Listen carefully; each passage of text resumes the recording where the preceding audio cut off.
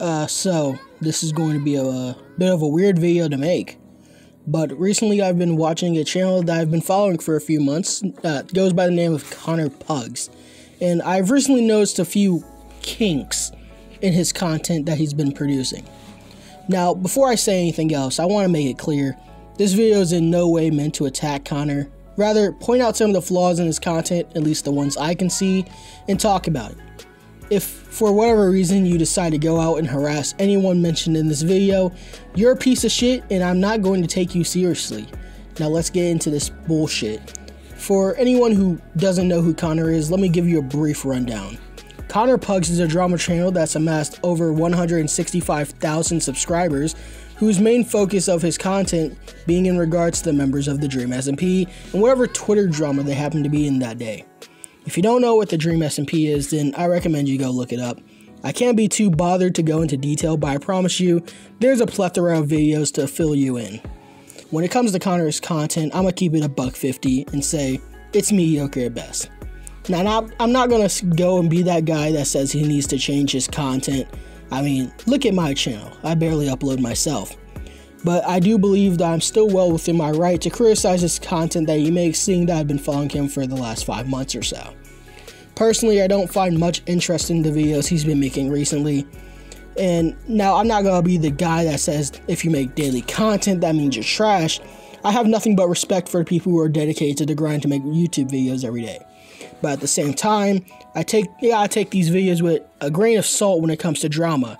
Since daily content channels aren't really known for being the best when it comes to making arguments with solid structure behind them.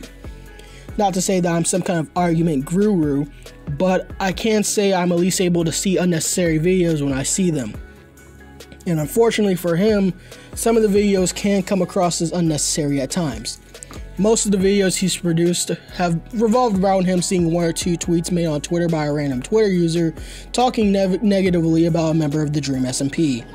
Connor would see these tweets and kind of blow them out of proportion. Most of the tweets he talks about, in my opinion, weren't really worth making videos about, at least full ones, that is. One example is one of his most recent videos where he talks about TommyInnit getting harassed on Twitter, when in reality it's probably just some 10 year old that told Tommy to commit endgame on a Twitter thread, which probably got buried by now, in an attempt to be edgy. Another problem you could say I have is the sheer amount of videos that he has made about the Dream SMP members. I'm not saying he can't make these videos, but when it gets to the point where it's all he talks about, it kind of gets stale and repetitive. I get that once you find a video formula that works, you stick with it for as long as you can, but come on, Connor. You're killing me here. Would it kill you to spice up your content just a little bit more? I wouldn't mind these type of videos if it was every three or so videos, but when it's every day, bro, this shit gets boring quick. Most of the videos he's been producing don't really have much substance behind them either and his takes come across as dry more often than not. While I'm not saying that his channel is not worth watching, it's been becoming more stagnant as of recently, which is a real shame. I can tell that Connor is really talented as a content creator. I mean, I mean, in the space of seven months, he's gathered a dedicated following of almost 200k, which is pretty impressive. However, I feel like if he keeps on coming up with the same type of content, his channel will eventually burn out and that's it's not something I'd like to see. He has potential to reach 500k, but I've seen too many cases of smaller YouTubers climbing their way to fame by focusing on one topic, only to become irrelevant and forgotten when they refuse to switch up their content. I'm gonna be honest with you, Chief.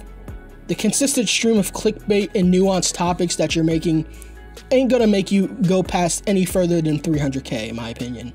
But who am I to say? After all, I'm just some 17 year old living in their mom's attic who only has six subs. At the end of the day, Connor, if you're somehow seeing this, at least take something I say into consideration. I don't, you don't have to respond. Hell, you can choose to ignore it completely, but I just wanted to put my thoughts out there. If you're watching this, I truly believe that your content, to a certain degree, is enjoyable. But if you don't want to fade into being used as exclusive background noise, I think you have to make a few tweaks to your content here and there. Not change it outright, but do something to make it more engageable, you know? Well, until next time, I'm going to be eating a chocolate chip muffin and going to sleep. Peace out.